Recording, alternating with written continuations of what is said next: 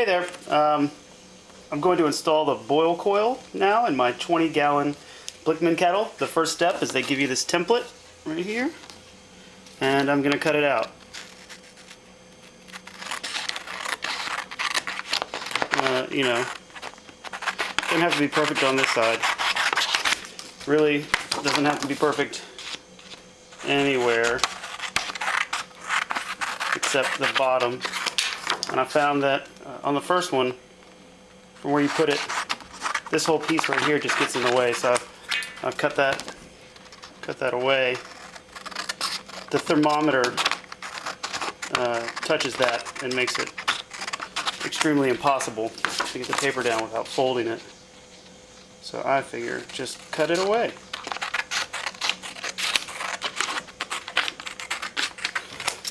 Just make sure, yeah, get the bottom really, really flat in this spot here. Get that cut out. This is going to sit inside of your little jam like this. So I'm going to tape that on. Okay, so now that we have uh, gotten that taken care of, we're going to use a center punch and hit these holes. So this is just a, you nail that down, and then you nail that down. I have this gracefully wedged up on a Dremel tool so it won't roll and it's not working. So now that that's done, I'm gonna take, we've got an eighth inch drill bit, and I'm gonna pop that. I'm gonna run it backwards for a second on both holes. I like to run them backwards and then forwards.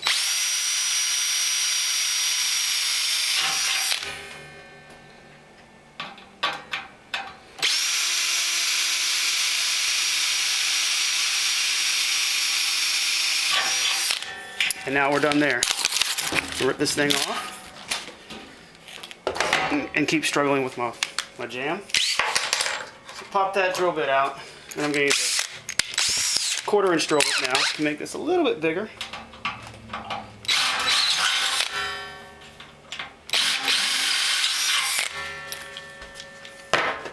And now my holes are done, as far as I'm concerned. I'm not going to use a step bit because I think they're for girls. I'm going to show you guys how a hole punch works. I take these three pieces right? Pop that in there. And put the other piece on the inside. Once that's done, I'm going to take a socket wrench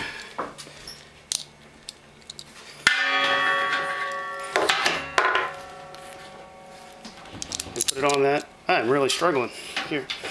Uh, and I'm just going to tighten this up.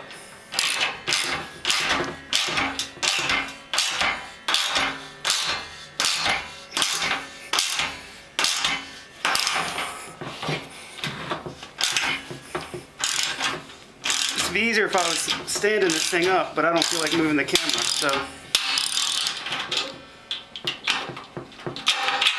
Now I've got a perfect hole with no burrs, nothing sharp the exact size that I need it. Then uh, got to take this apart. I'm going to go ahead and do the other one and uh, do that without you to make this video shorter.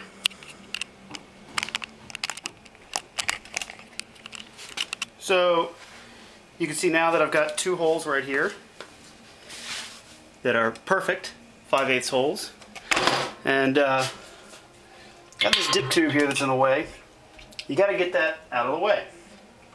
So, lucky for all of us, when you spend butt tons of money on a uh, on a kettle, Blichmann will send you the proper Allen wrench for every single one of their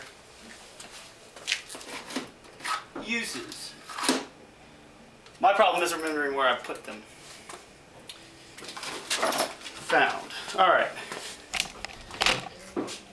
So you just pop this a little loose, and then you can spin this up out of the way. So Blichmann supplies us with this. This is a spacer. Just snaps onto the, uh, the BoilCoil to keep those rings apart. So uh, I've taken off the uh, nuts that go right there. And I'm just going to shove this on the inside.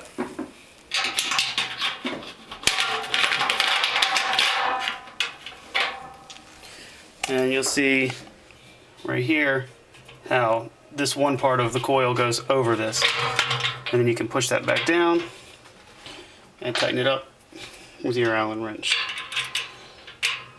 Sorry if you're getting vertigo. I'm holding the camera, trying to do all this at one time. So then I scoot my my spacer perfectly opposite of this.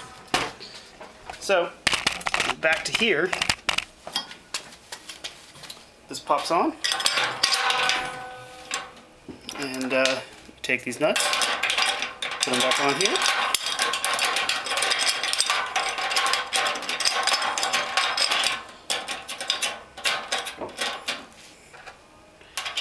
Nah, I understand why Blichmann wants you to put this right here now, and it's because of where this this valve is, and being able to uh, get the coil in to that perfect spot right there.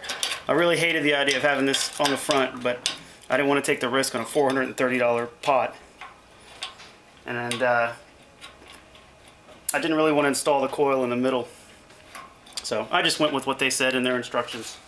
So once that's sort of hand tightened on, I'm going to take a socket wrench. This is a 7 8 socket wrench. It's got to be extra deep to fit over these prongs. And uh, just tighten up.